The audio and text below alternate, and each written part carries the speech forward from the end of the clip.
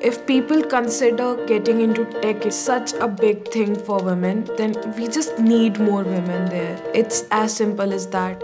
My name is Vani Agarwal and I'm an AWS AIML scholarship student in Greater Noida, India. Hello. Hi. Vanakkam. My name is Olympia Otieno and I'm from Nairobi, Kenya. I'm from Himachal Pradesh, India. I'm interested in artificial intelligence. If they can do it, then I can do it too. I want to be a mentor for the next generation of women that are going into artificial intelligence.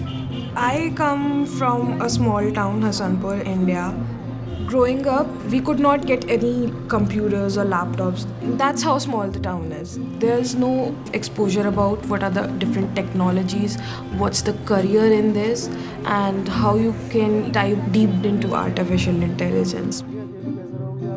When I decided to go out into a big city to pursue my education, initially I don't think there was much support. It's like you can study, but don't go out of your comfort zone. What's the need for that? I definitely had to compromise on my college choices because the tuition fee plus the living expenses in a big city, they were all a bit too much on my parents. I had to prove that there's this reason to believe in me. When I came into the National Capital Region of India for my studies, I stepped out of my comfort zone. It was overwhelming at first.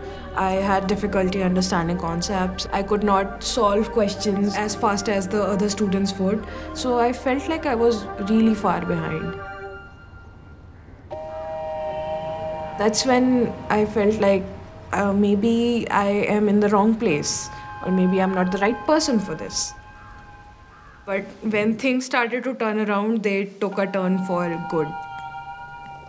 When the pandemic hit, it took me away from that competition and gave me my own quiet and safe space to learn the concepts at my pace and in the way I wanted to learn. One day I saw a notification box that said you have been accepted into the AWS AIML scholarship program. After learning a bit about artificial intelligence, machine learning, the nano degree has definitely unlocked my interest in AI specifically. I have a random question. I constantly try to go out there and talk to girls who are, you know, confused about what to do in life. The main motive was to give them something out of the box to think about. It always gives me satisfaction when someone tells me about their goals and I just affirm them because I did not get that affirmation myself. Without the AWS AIML scholarship program, I wouldn't have been able to get into artificial intelligence because the field is intimidating. It definitely pushed out my boat into those deep waters. The next big thing for me is joining Amazon as a software development intern.